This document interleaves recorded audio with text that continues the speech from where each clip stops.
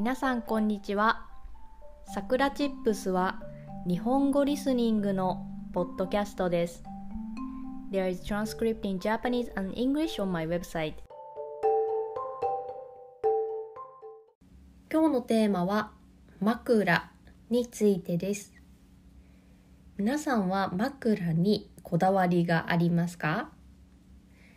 私は今ホテルに泊まっているのですがそこのホテルの枕が硬くて少し寝づらかったです。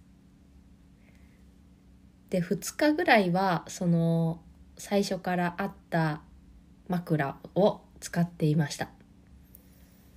まあ、硬いなと思いながら、まあ、我慢して 寝ていたのですがある日ホテルのスタッフに柔らかい枕があるか聞きました。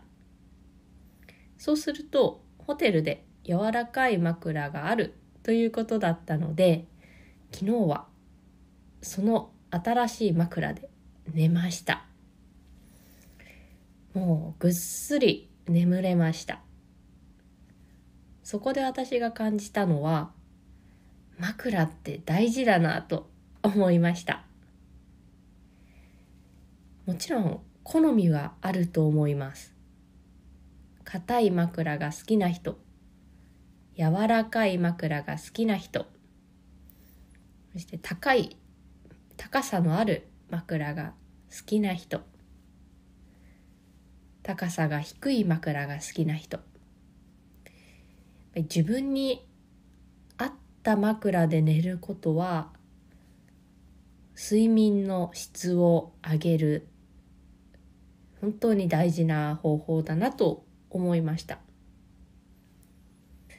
私の好みは柔らかくって頭を置くと枕が沈むものです。ホテルにはだいたい4つぐらい枕が用意されててそして自分の好きな枕を使えるようになっているところも多いと思います。私は最初になんでホテルはこんなにも枕を置くのだろうと思っていたのですが今ならその理由がわかります。睡眠の質を高めるために枕はとても大事です。私は柔らかい枕をゲットしたのでこれからしばらくぐっすり眠ることができそうです皆さんはどんな枕が好きですかそれでは今日はこの辺で終わりにしようと思います If you want to help us continue to create podcasts like this, please consider making a small monthly contribution at sakratips.com You can get Japanese chair twice a month. Check the description box. じゃあ、またね